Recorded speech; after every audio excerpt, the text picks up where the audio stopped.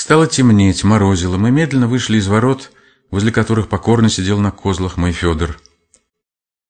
«Поездим еще немножко», — сказала она. «Потом поедем есть последние блины к Егорову. Только не шибко, Федор, правда?» «Слушаюсь». «Где-то на Ордынке есть дом, где жил Грибоедов. Поедем его искать». И мы зачем-то поехали на Ордынку, долго ездили по каким-то переулкам в садах, были в Грибоедовском переулке.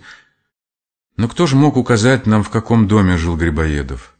Прохожих не было ни души, да и кому из них мог быть нужен Грибоедов? Уже давно стемнело, разовели за деревьями выни освещенные окна. «Тут есть еще Марфа-Мариинская обитель», — сказала она. Я засмеялся. «Опять в обитель?» «Нет, это я так». В нижнем этаже в трактире Егорова в охотном ряду было полно лохматыми, толсто одетыми извозчиками, резавшими стопки блинов, залитых сверх меры маслом и сметаной. Было парно, как в бане. В верхних комнатах, тоже очень теплых, с низкими потолками, старозаветные купцы запивали огненные блины зернистой икрой, замороженным шампанским.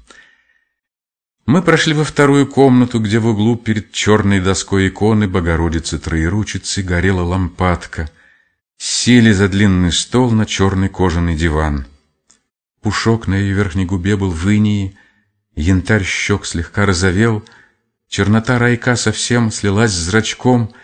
Я не мог отвести восторженных глаз от ее лица. А она говорила, вынимая платочек из душистой муфты. «Хорошо». Внизу дикие мужики, а тут блины с шампанским и Богородица Троеручица. Три руки. Ведь это Индия. Вы барин. Вы не можете понимать так, как я, всю эту Москву. Могу, могу, отвечал я. Давайте закажем обед силен. Как это силен? А это значит сильный. Как же вы не знаете? Речи, Георгий. Как хорошо, Георгий. Да, князь Юрий Долгорукий. Речь о Георгика Святославу князю Северскому. Приди ко мне, братья, в Москову и повеле устроить обед силен. Как хорошо. И вот только в каких-нибудь северных монастырях осталась теперь эта Русь. Да еще в церковных песнопениях. Недавно я ходила в Зачатьевский монастырь. Вы представить себе не можете, до чего дивно поют там стихиры. А в Чудовом еще лучше. Я прошлый год все ходила туда, на Страстной. Ах, как было хорошо. Везде лужи, воздух уже мягкий, на душе как-то нежно, грустно, и все время это чувство Родины, ее старины. Все двери в соборе открыты, весь день входит и выходит простой народ, весь день службы — Ох, уйду я куда-нибудь в монастырь, в какой-нибудь самый глухой, Вологодской, Вятской. Я хотел сказать, что тогда и я уйду, или зарежу кого-нибудь, чтобы меня загнали на Сахалин. Закурил, забывшись от волнения, но подошел половой в белых штанах и белой рубахе, подпоясанной малиновым жгутом, почтительно напомнил. «Извините, господин, курить у нас нельзя!» И тотчас с особой угодливостью начал скороговоркой. «А гоблинам что прикажете, домашнего травничку и корки, семушки?» Кушицы у нас херес на редкость хорош есть. И к навашке хересу прибавила она, радуя меня доброй разговорчивостью, которая не покидала ее весь вечер. Я уже рассеянно слушал, что она говорила дальше. Она говорила с тихим светом в глазах. «Я русская летописная, русские сказания так люблю, что до тех пор перечитываю то, что особенно нравится, пока наизусть не заучу. Был в русской земле город, названием Муром. В нем же самодержствовал благоверный князь именем Павел. И вселил к жене его дьявол летучего змея на блуд. И сей змей являлся ей в естестве человеческом зело прекрасным. Я, шутя, сделал страшные глаза. Ой, какой ужас! Она, не слушая, продолжала. Так испытывал ее Бог. Когда же пришло время ее благостной кончины, умолили Бога сей князь и княгиня приставиться им в един день. И сговорились быть погребенными в едином гробу, и велели вытесать в едином камне два гробных ложа и облеклись такожде единовременно в монашеское одеяние. И опять моя рассеянность сменилась удивлением и даже тревогой. Что это с ней нынче? И вот в этот вечер, когда я отвез ее домой, совсем не в обычное время, в одиннадцатом часу, она, простясь со мной на подъезде, вдруг задержала меня, когда я уже садился в сани. «Погодите, заезжайте ко мне завтра вечером не раньше десяти. Завтра капустник художественного театра». «Так что?» — спросил я. Вы хотите поехать на этот капустник? Да. Но вы же говорили, что не знаете ничего пошлее этих капустников. И теперь не знаю, и все-таки хочу поехать. Я мысленно покачал головой. Все причуды, московские причуды. И бодро отозвался. All right.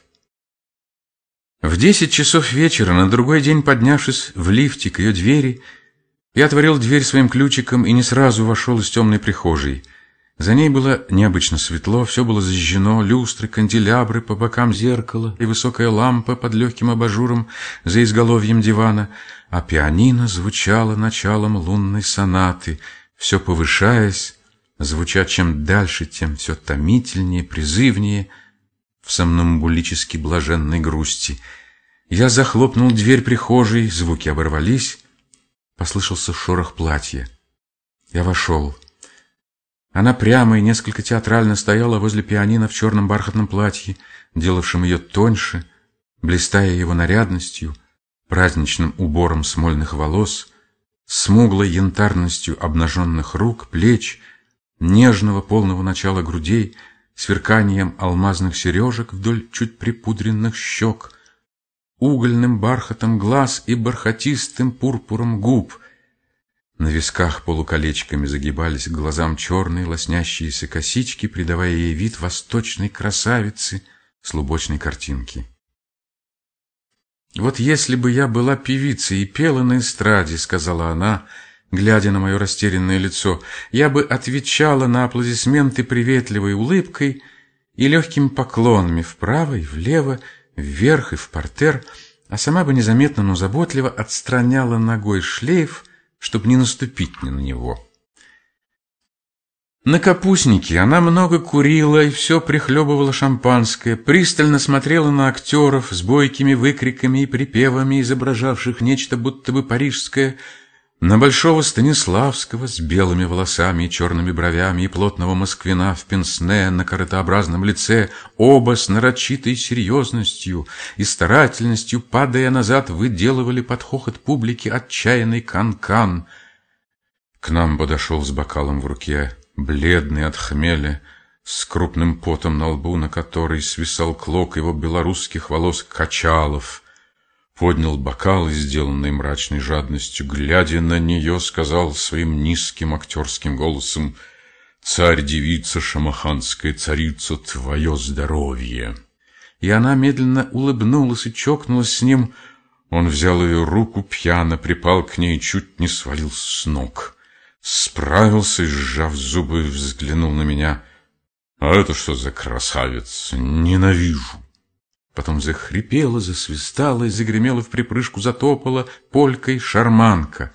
И к нам, скользя, подлетел маленький, вечно куда-то спешащий и смеющийся Сулержицкий, изогнулся, изображая гостиннодворскую галантность, поспешно пробормотал «Дозвольте пригласить на полечку трамблан».